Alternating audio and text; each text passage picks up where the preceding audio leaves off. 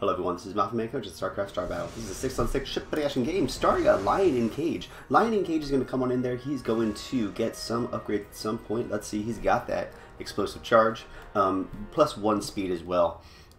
Gonna see he's gonna go in there. Electromagnetic Storm Opener, uh, 300 energy potential. Luke, uh, five upgrades on his laser batteries. Can definitely one-shot farm, even one more than one-shot farm. If there's a carrier, he's in very good shape.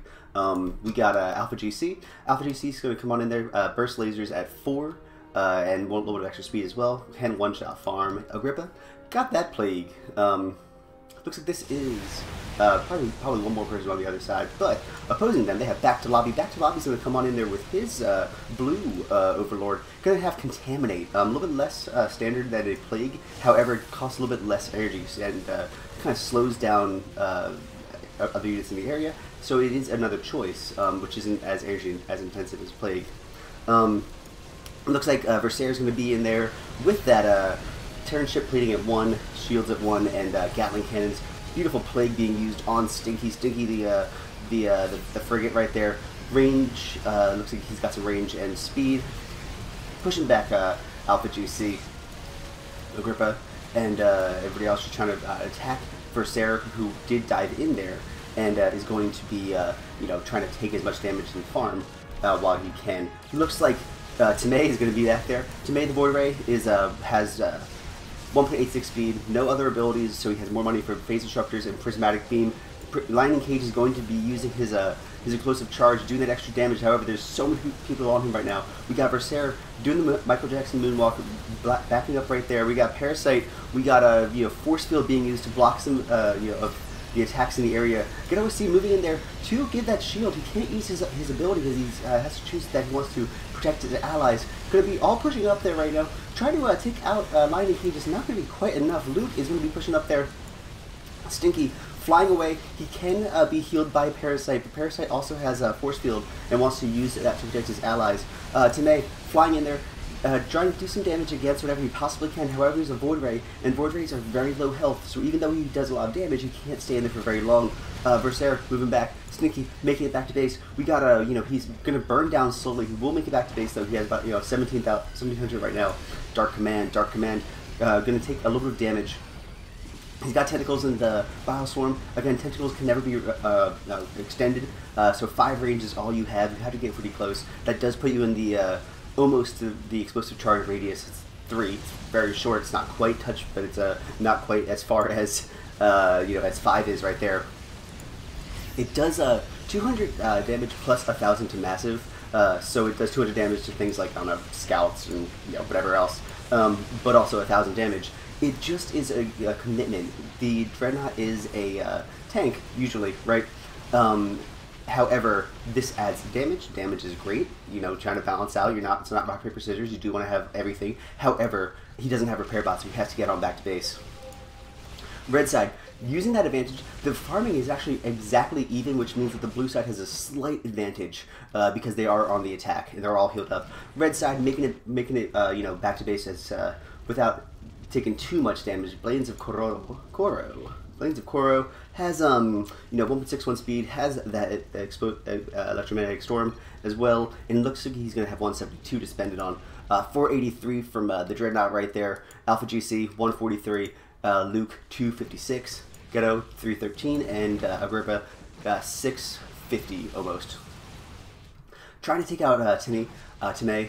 Uh, will they be able to do it? They have so many support ships. Ooh, swinging a miss on the uh, on the um, on the plague right there. It was going to hit. He blinked. He blinked just in time. Uh, Alpha, Alpha GC does not have blink because he's a Raven and can't uh, you know do, do the same thing. Versaire gonna gonna try to do some damage, but not enough to uh, really uh, threaten him for very long. Blades of Koro, kind of out, out of position right now. Uh, the entire the, the uh, you know uh, blue side is gonna try to go to him, but it looks like uh, Lightning Cage is gonna move on there as well. Uh, he's going to be you know contaminated right there, slowed down how much damage he can do. He does have the explosive charge. He has the V25 to support it. It only costs 50, and it's relatively quick, so we can just keep on using it. And they have to, they can see it, but they're gonna run into it anyway um, because it's just you know in the, in their general battle location. If you put if you puts it directly on uh, Dark Command, it does explode on him. Uh, looks like Stinky's gonna fly in there, five backlash rockets. He knows he's a damage dealer. He's going to try to use that, uh, that as much as he can. We have Lightning Cage pushing up there. Uh, these uh, House Tempest just pushing him away and uh, does scare off the red side. They don't want to commit to uh, that much of an attack right now.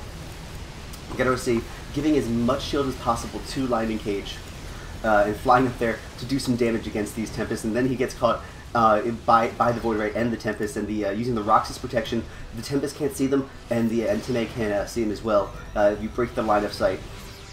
The very little uh, bit of um, you know, uh, terrain right there is going to be helpful right now. Looks like the red side is going to try to push on up there. Uh, get OSC flying around the side. Time trying to farm as well, trying to do some damage. He can one-shot farm. He's in a great position. He's got 500 already. That means that the red side is going to have to get on back there if they want to try to stop him. It's always a question because the Void Rays are very sneaky. They can blink out. They're pretty quick. However, if you just let them farm, then they can get really out of out of uh, touch right there. Um, and it looks like GC uses a fantastic EMP to uh, stop Time from blinking. He doesn't have very much, very many shields or uh, uh, any, very many, uh, you know, energy to support it, so that that EMP takes all of his energy away.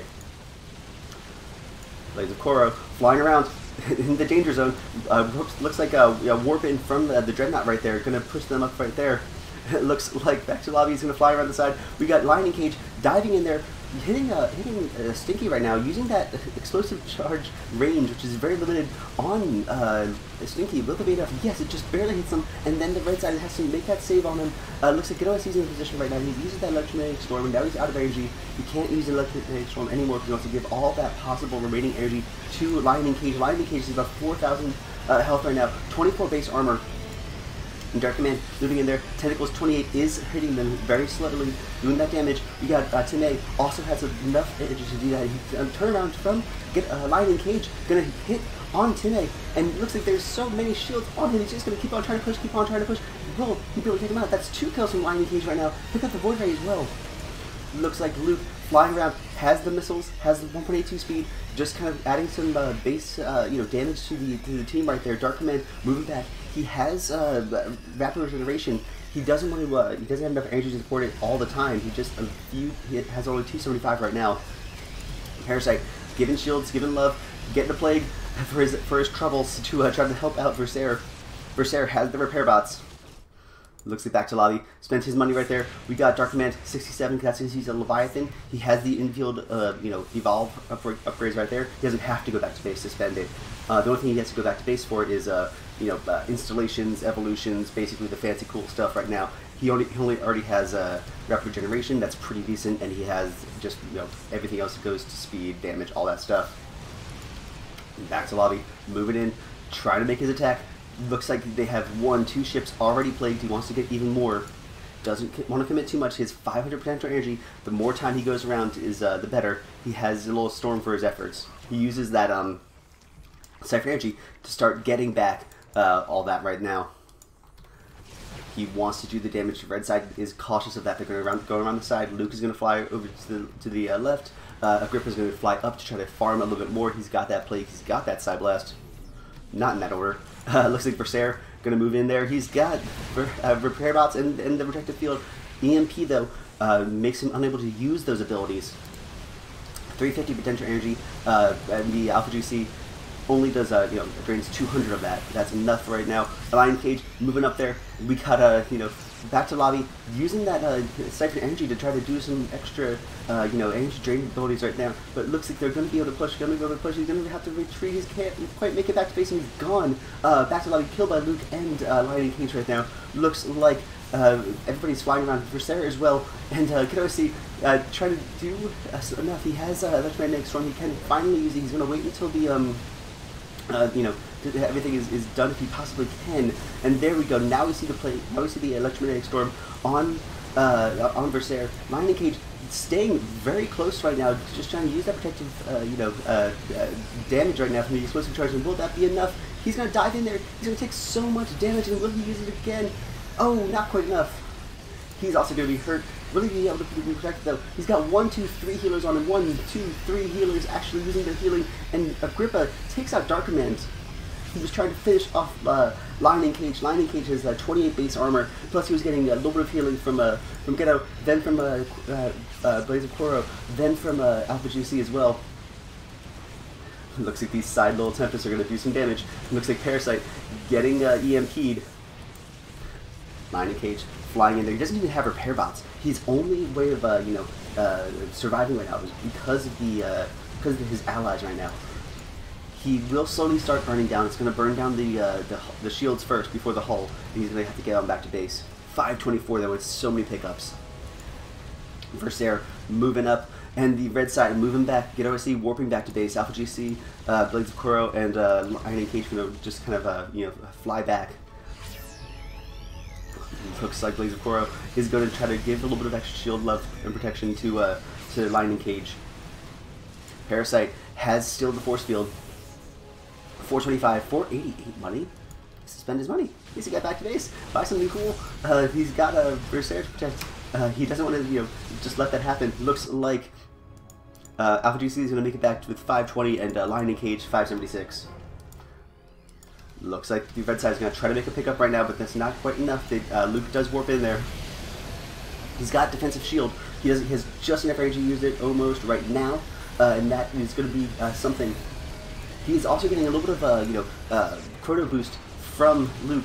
Uh, Genosi moves in there, does use his uh, his uh, stasis field on uh, Versair. Parasite moving back, wants to uh, you know protect his allies. Doesn't want to die though, and Luke does so much that uh, the uh, force field does block the missile shots. Uh, so uh, Luke can't kill him off, and he doesn't have any ability to force his way through the missile shots. But uh, Parasite didn't want to risk that right now. Versair using that protected field, and it looks like he's going to get a little bit of shields, a little bit of damage. Everything is attacking him though, and will Versair make it back to base? He has such little health. Lightning Cage is just going to stay there, use his uh, explosive charge, and will this be enough? He does take up one more kill right there. Parasite taking a whole bunch of damage as well, and I think this is going to be game. Um, there we go. Now uh, that is going to be it. Hope you guys enjoyed this one. This is a super short one. Um, Make sure to send your replays to maffumancasting at gmail.com. Press like, press subscribe. We are doing StarCraft Star Battle all the time.